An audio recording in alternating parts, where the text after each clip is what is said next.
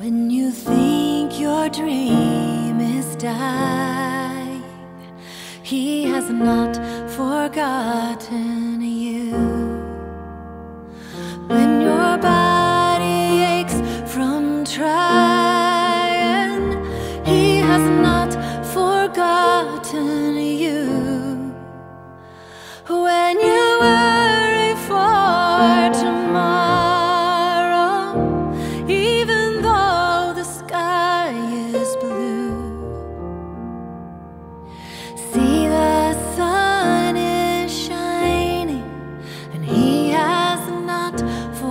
Forgotten you.